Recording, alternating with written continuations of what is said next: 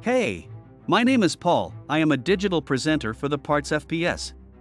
Today, I am going to talk about door switch actuator for Imperial part number 32232. The motor for Blodgett part number 32232 is a replacement motor. For Blodgett ovens, it is a 1 3 HP 115V 60 Hz single phase motor with a reversible rotation. The motor has an output of 1 quarter HP and is designed to fit the Blodgett oven models Zafari, Zephaire G, and Zephaire H. It has a 5 8 diameter shaft and comes with mounting hardware.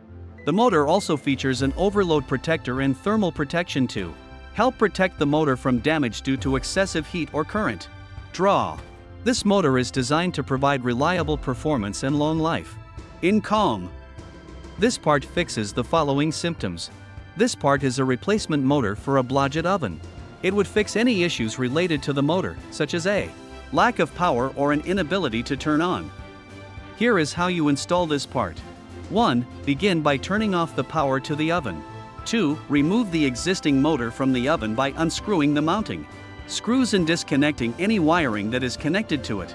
3. Install the new motor in place of the old one, making sure to line up all of the mounting holes and secure it with screws.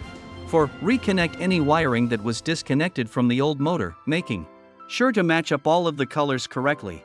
5. Turn on the power to the oven and test out your new motor to make sure it is working properly. You can buy this part from www.partsfps.com.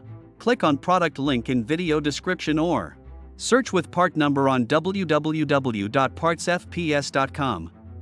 Visit www.partsfps.com to order commercial kitchen equipment parts.